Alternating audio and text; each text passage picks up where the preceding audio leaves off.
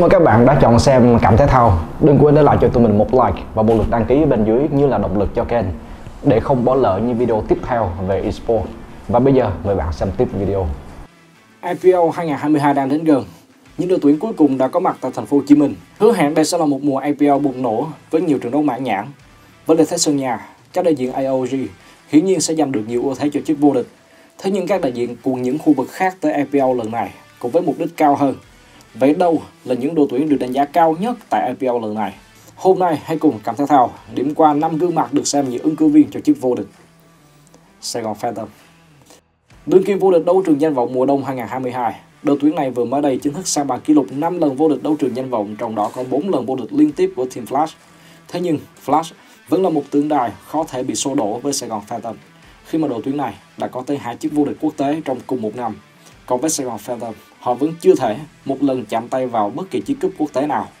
Lần gần nhất những bóng ma xà thành đến gần với chiếc vô địch quốc tế, đó là AIC 2020. Thật đáng buồn, đối thủ của họ trong trận chung kết là là Mad Team với còn quái vật Neil và siêu xạ thủ 0322. Về như một cách đáng tiếc khiến cho Sài Gòn Phantom tuột mất cơ hội sở hữu bộ đồ danh hiệu quốc nội và quốc tế. Những lần ra biển lớn sau đó, Sài Gòn Phantom tuột phong độ một cách khó hiểu và ngậm ngùi bị gắn cái mát khung nhà giải chợ ipo lần này sẽ là cơ hội lớn để Sài Gòn Phantom có thể phá dấp, xóa đi cái mát không mấy tốt đẹp mà khán giả đặt cho họ. Một đội hình đã có sự hòa trộn, sự gắn kết và vừa trải qua một chiến thắng đầy bản lĩnh tại đấu trường danh vọng mùa đông sau khi bị dẫn trước 0-3 nhưng vẫn ngược dòng lịch sử với tỷ số 4-3. Có thể nói, lối chơi cũng như con người của Sài Gòn Phantom giờ đây đã gần như hoàn hảo, đánh đúng thực lực của bản thân, cùng một phong độ ổn định của từng thành viên. Sài Gòn Phantom sẽ là chìa khóa để có thể phát huy một cách tốt nhất tại giải đấu tới. Bên cạnh đó, yếu tố lịch sử cũng đang nghiêng về khu vực Việt Nam.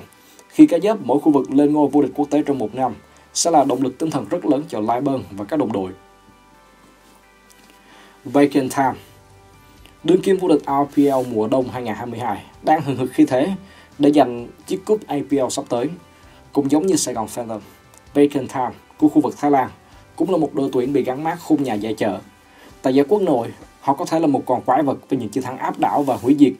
Tuy nhiên khi ra quốc tế, Vacant Time chỉ là một đội tuyển tầm trung. Tại ARC 2022 vừa qua, sở hữu cho mình 5 thành viên được coi là xuất sắc nhất, đặc biệt là sự hủy diệt của thần đồng Marky cũng như thầy giáo Kim Sensei. Thế nhưng, những kỳ vọng đó không được đền đáp.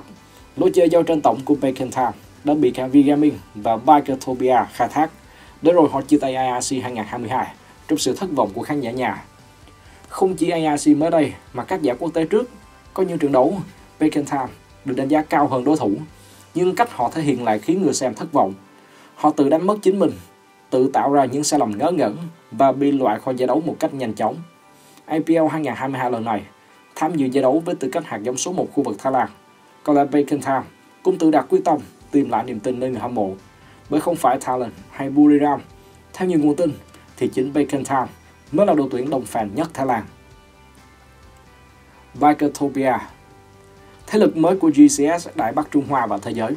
Dù chỉ mới tham gia giải quốc nội GCS được 3 mùa, nhưng Bikertopia nhanh chóng vươn lên như một thế lực của giải đấu khi từ mùa giải đầu tiên GCS mùa hè 2021 họ dừng chân ở vị trí top 6 thì sang mùa giải thứ hai GCS xuân 2022 họ trở thành Á quân và vô địch tại GCS hè 2022 vừa rồi sau chiến thắng kịch tính 4-3 trước Flash Wolf.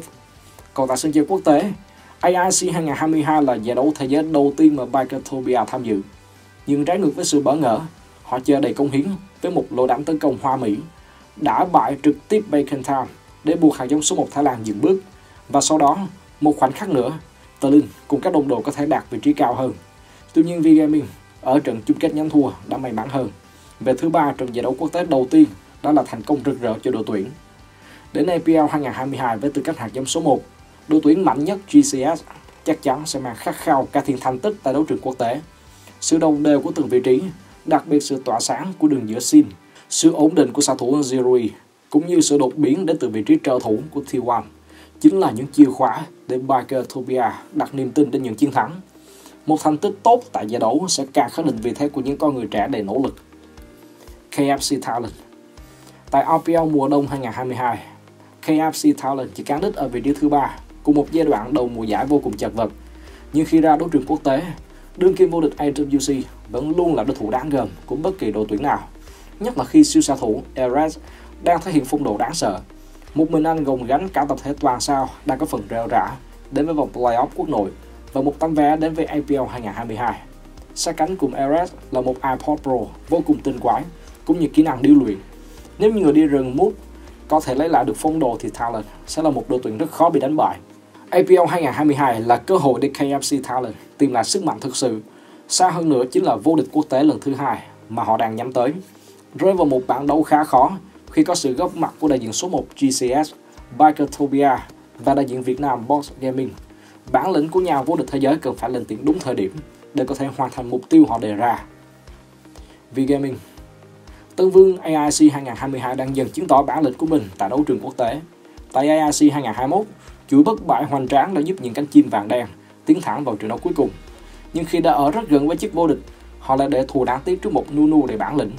Tuy nhiên những nỗ lực không ngừng nghỉ của các chàng trai V-Gaming cuối cùng cũng được đền đáp xứng đáng với chiếc vô địch quốc tế AIC 2022.